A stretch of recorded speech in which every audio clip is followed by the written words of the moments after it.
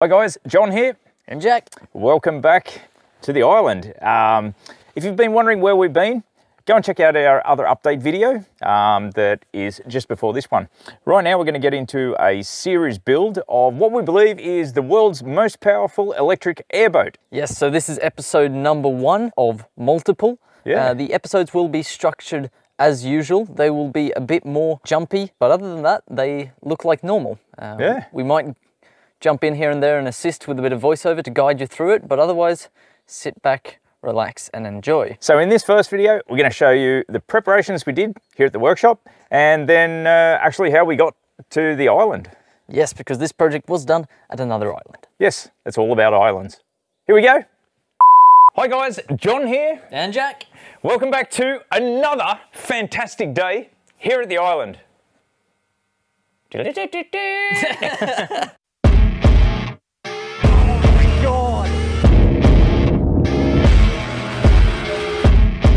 yep. So today we are in a very busy workshop, even though uh, it is beautiful outside. We've got plenty to do and we are getting stuck into a really cool project. which includes this thing. Let's have a look. All right, so take us through. What what's this? What This is 160 kilowatts peak, um, which is 215 peak horsepower. This Yes. thing is a beast. And this is going in our next project, which is an airboat. Yeah, an air, or more specifically, an airboat conversion. That's it. For a very special client of ours who's actually a neighbor. He lives somewhere over there. And the journey of building that world's most powerful electric airboat probably starts today. Like, subscribe, follow us. Let's do it. Let's get started.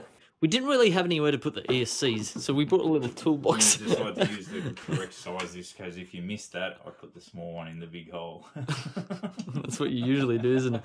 So we've bought this little toolbox that they fit absolutely perfectly, and um, and they're just going to be flush mounted to this, so they will kind of this will kind of act like a bit of a heat sink as well.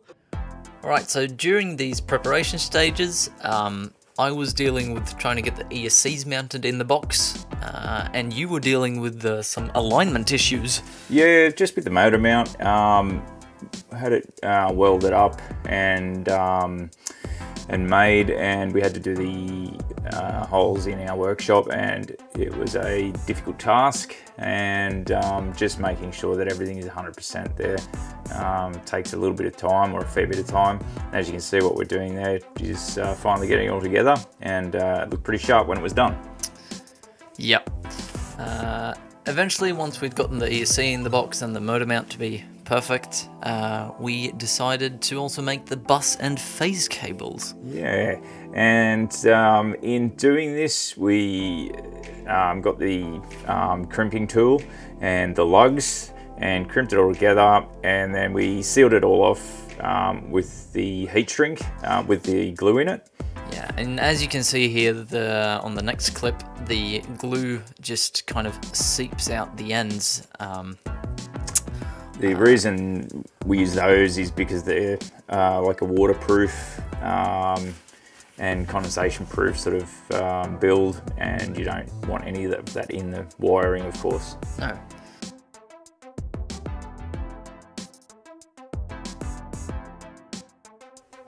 Overall, we're happy with uh, all the cables and everything, and uh, we, we got everything ready to a point where we felt that we could pack it all up. And the next day, Get it all into the boat. get it all into the boat, get it over, get it into the car, and then uh, and start drive with- off. Start with the next fun bit. Yeah. We've got the boat loaded up with all the stuff, and today is actually going to be the first uh, real uh, building day of Project 286. Yes. So we're on our way over to dump this uh, in the car. Jack's going to take the airboat all the way around to the other island. As I said, it's about five k's, and uh, we're going to meet up there. and we're going to start getting the stuff over the island. All right. All good to go. Yeah, it's loaded up. That's uh, full. Yeah, exactly. I mean, you're going to hit the um, hit the ice. Yep. Travel the five k's over that way, and I'm going to meet you at the jetty on the mainland. Yep. And then we're going to get all this stuff in the airboat and take it over to the other island.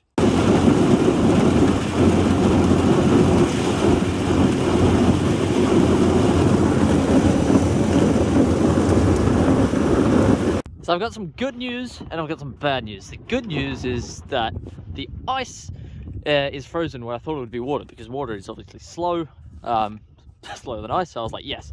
Bad news is I'm actually going through it. So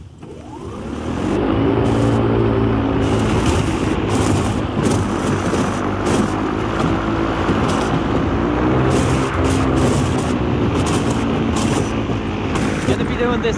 a lot. It's funny to think that this is how the airboat project started.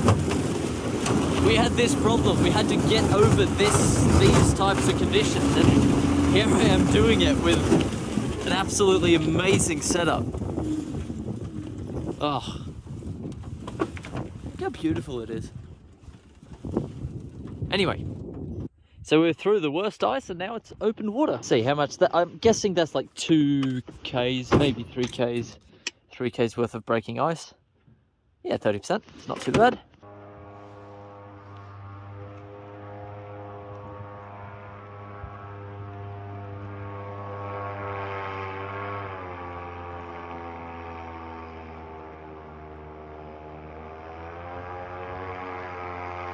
Here's Jack arriving from the other side.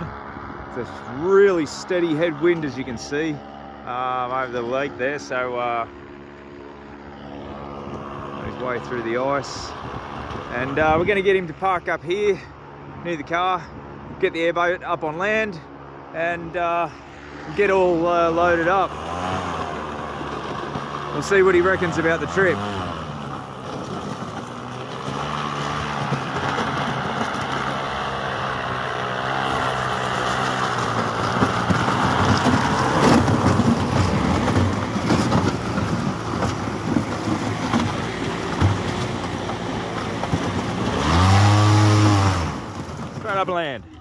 Howdy, bro. How's it going? What was the trip like? So it was like. You got two- one hell of a headwind there. Oh yeah, it was like two kilometers of, um, like just breaking ice. Yeah, I saw And it that. sucked because I couldn't, I couldn't go fast to Yeah. get up on plane because I tried it Yeah. and actually caught an edge and almost sank the boat. Yeah, far So I was like, because I, I tried it and you needed like only sixty percent to get up like on the ice. Yeah. But it never held. So yeah. I just started. I just ended up like, nah, I'm sitting here, and I just broke, broke, broke, broke, broke, Yeah. and got out here. And I mean, I've only done tested in in the water once, and you need like pretty much like seventy percent to keep playing. Yep. And the headwind hit me. I was pretty much full gas all the way. I heard that. But we have got forty-two something percent. Beautiful. Five pretty hard K, so I'm happy with that. Oh, that's brilliant. Absolutely amazing. And straight up on land when you got here.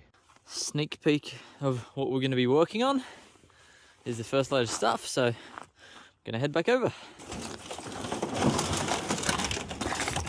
Yeah, yeah, now you can get in it.